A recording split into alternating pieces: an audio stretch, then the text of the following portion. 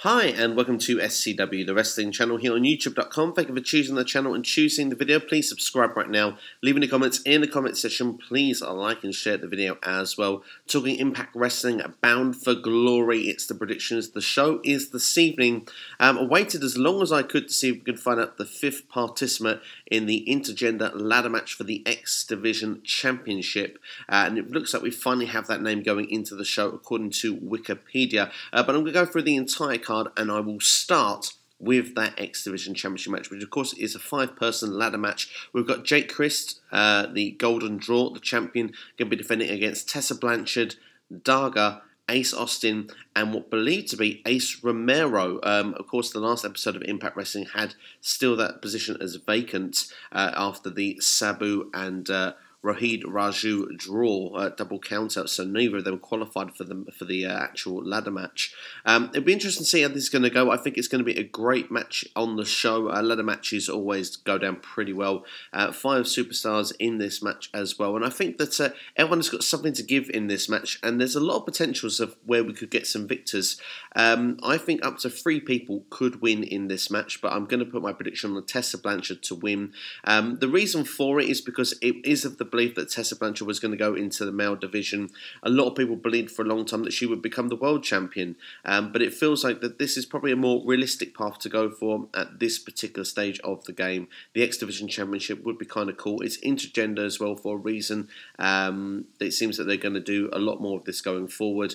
I think that for that reason, Tessa Blanchard will walk out victorious, but I do think that there is a shout that Jake Crist could retain, and I think Ace Austin is the, uh, for me, backup prediction here because um, him and Eddie Edwards, it's not finished that that uh, rivalry by any stretch of the imagination. And um, yeah, it would be interesting to see if that. Um, I believe it was Alisha Edwards, if she would actually come uh, to, to ringside to celebrate with Ace Austin, should he win the championship. But we'll have to wait and see on that. But for me, Tessa Blanchard is going to be my victor. I think that she would be a good uh, X Division champion, and uh, it would help continue that feud with OVE going forward.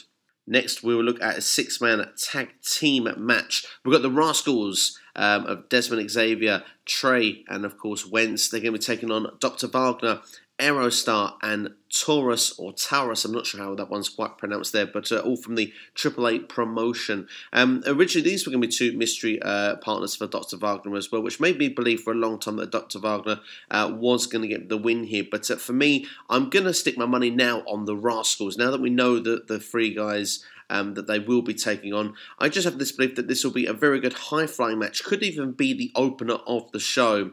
Um, the Rascalz, for me, are in need of a victory, and I think that this would be a good position to give that to them because they'll be taking on guys that are not in Impact Wrestling as well, um, which of course wouldn't harm them so much either if they were to lose this match. But I think for me, uh, the Rascalz need a big victory, and I think this would be uh, the perfect opportunity to give them that win on such a big stage. For me, I'm going to go for the Rascalz.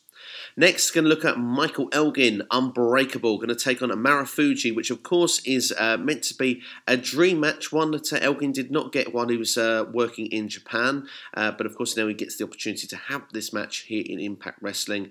Uh, Marufuji, no stranger to working with Impact, has done a number of dates previously, but for me, Michael Elgin here is going to go over. It's another one of those things where taking on a, a superstar from a different roster, uh, I, I just have this feeling that Michael Elgin will be the guy going over. They're building him up really well, and um, he's had a real strong showing since turning up in Impact Wrestling. So I expect that continue uh, with this Sunday at Bound for Glory.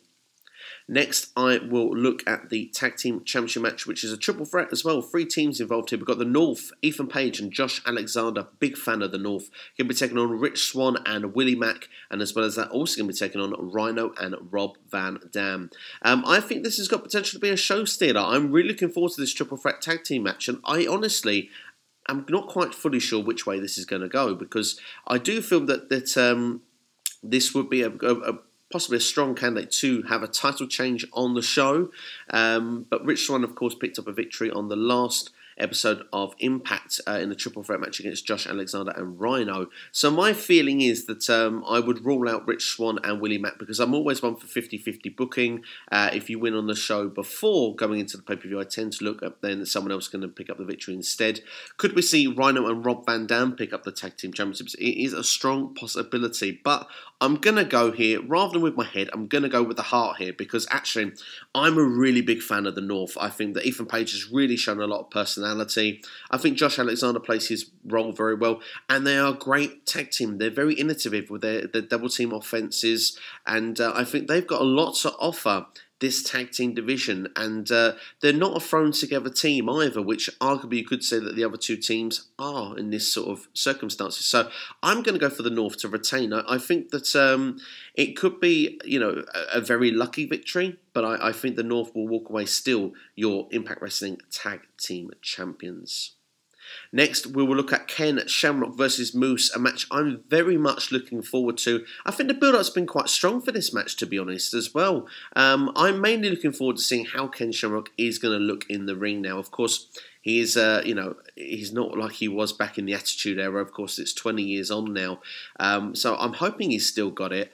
Uh, Moose seems to be going against some of the legends this year. Of course, at Slammiversary, he took on Rob Van Dam, uh, and he did actually get the victory over Rob Van Dam and, and, gave him his first loss since coming back to Impact.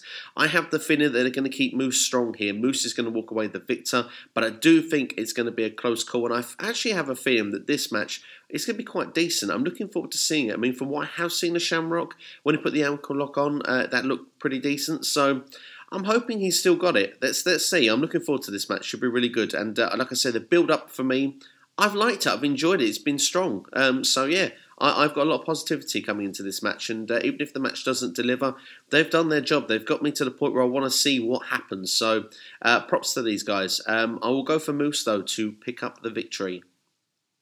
Next, I'll look at the Call Your Shot Gauntlet match. That's right, 20 superstars in a Royal Rumble kind of match. The winner can choose any championship match of their choice. Now, of course, um, we know the number one and we know the number 20. Number one is Eddie Edwards, and we've got the number 20, which is Muhammad Shera. Uh, Shera will be a big favourite going into this match. Um, I look at sort of the heavy hitters. I mean, Eddie Edwards, I can see being cost his spot at some stage, maybe by Ace Austin. Like I said, that, that feud isn't finished. I just feel Ace Austin obviously won't be in the match, but maybe could be some outside interference. We'll have to wait and see. Um, of course, some of the women might get involved. Jordynne Grace could be involved. Havok. So, yeah, it'll be interesting to see uh, which way they go because the winner can choose any championship match of their choice. It can be a, a Knockouts Championship. We could have the X Division you know, it could be anything, a world championship or even a tag team championship. But um, looking at it to make a prediction, I mean, I would love to see a surprise element come in, someone that we don't expect, because that's what makes these matches kind of more fun as well, especially if it's a big return or something like that. Would be uh, an exciting thing to see a, a big superstar come in, win this match, and go for the world championship or even the X Division Championship would be would be nice to see. But uh, I'm gonna go and say Madman Fulton to be my victor here because um, he wasn't involved. I don't believe in the uh, battle royal that determined who was going to be number 20. And I think Madman Fulton is the kind of guy um, for OVE who would go in, win the match, and for example, someone like Jake Crist who has lost his his championship earlier in the evening, or maybe Sami Callihan, if he's not successful, might be able to score another title match thanks to Madman Fulton, who would perhaps uh, give up his opportunity for one of these guys. So that's going to be my prediction for this. That's my, I think, the smart money goes. Madman Fulton will win the gauntlet match for me. Next, I'll look at the Knockouts Championship for Impact Wrestling. We've got Taya Valkyrie, the longest reigning Knockouts champion, uh, going to be taking on Tenille Dashwood. Well, this is like your WrestleMania. It's the biggest event of the year. Um, Taya's had the belt for a goodness knows how long. I think it's January she's held the belt since, so it's a good nine months. The longest uh, champion. It's time for a change. Uh, for me, Tenille Dashwood, kind of fresh in, perhaps a bit too soon, but she's never held, I think, a, a main championship. She was never in WWE uh, NXT, never a Raw SmackDown Women's Champion. And uh, I obviously with with Ring of Honor, she never won that championship either. So I think that uh, she is going to be given a home here, a championship, and she's going to be made to feel like she is a big deal. I think in Impact, I think that they're going to look after her and take care of her here. So I think Tenille Dashwood is going to get her her night here. I think this is going to be the big one for her, and that she will become the new Knockouts champion. And it'll be interesting to see then where they go forward from this because Taya's had a great run at the top, um, but I just think it's time for her to let someone else have a run, maybe just regroup and, and come back in, and then maybe become Knockouts champion at a future date. But if she was to win this match, I really start to wonder who would take the belt off of her because she has not. She's beaten everybody. Uh, you just sort of think, who and where does she go next? So for me, I think a change is necessary. So let's go for Tenille Dashwood to win the Knockouts Championship. Last but certainly not least, uh, we've got the Impact World Championship. Brian Cage, the champion, against Sami Callihan. This has been very well put together. I must admit, props to Impact Wrestling. Um, they've made this a blood feud without getting Brian Cage involved too much. Now, um, I kind of have a split feeling when it comes to this match, and I think fans are going to as well. Um, this isn't as straightforward as as, uh, as booking suggests of good versus bad, face versus heel. I think the fans are going to be split for this. I think people want to see Sami Callihan become the world champion. Um, I think people, some people would like to stick with the the storyline beliefs and see Brian Cage retain. Um, but Brian Cage hasn't really done much as world champion. I know he's been injured or he's been hurt for, for a number of his reign. Does that mean he will vacate the championship in this match and we have a new champion going forward? Or is it too soon for him to drop the belt? He's fine now and he'll be back doing what he does normally after Bound for Glory. It's so interesting to see. It's It could go either way. Um, I really loved how they've used Melissa Santos in this in this uh, feud as well, from to really give Sami Callihan some heat, uh, so a much needed heat going into this. It's a world championship match, it, it's really had where it's become a blood feud. And um, yeah, I mean, for me, I believe that Brian Cage will get his revenge here. I, I just feel that uh, Impact don't necessarily change that World Championship these days that often, that quickly. Um, and although Sami Callihan for me deserves to be a world champion in Impact, I think that he would be fantastic in the role. And particularly if Tessa didn't win the X Division Championship, she said she's coming for Sami next. That would be a way to put that feud going forward, perhaps into the January pay per view. But uh, I always thought that if Tessa was going to win the World Championship, it should be a Bound for Glory. She's in the X Division, so um, for me, I just kind of feel Sami, you've done well. You've really put yourself as, as a main event player in Impact through this feud. But I, I just have the feeling that Brian Cage is going to retain. So I'm going to stick with that. Brian Cage will be my prediction for this event.